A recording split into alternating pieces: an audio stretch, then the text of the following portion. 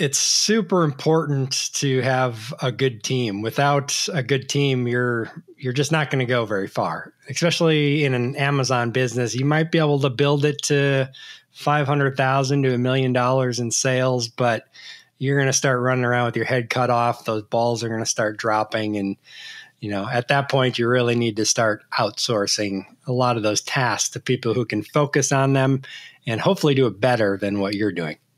Absolutely. Couldn't agree with you more.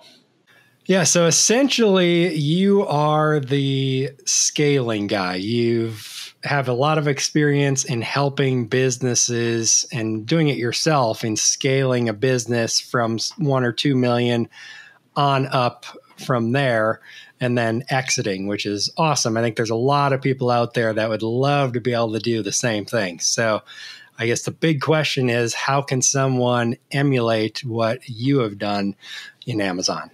Absolutely. Well, I'll, I'll, walk you through it. I'll just give one little added caveat of like what I'm working on as well, just so that the information I share with the audience, um, you know, you understand that it's coming from someone who, who's actually dealing in this. I have another business called Escala, which does process improvement. It's a team of nearly 30. Internally, I have a team of about 100 uh, team members, where the bulk of them are in the Philippines. But our consulting practice actually goes into businesses, interviews, shadows, reviews, understands the operation, builds process maps and standard operating procedures to build scale. So I share that bit of information before I sort of launch into uh, almost a rant here because uh, I am so passionate about what I'm about to talk uh, about. But I would say before we start to get into tactical components of the execution of like how do you do this, I think the first and the most important thing for any Amazon business owner is to understand what their end objective is. What is the vision around their business? And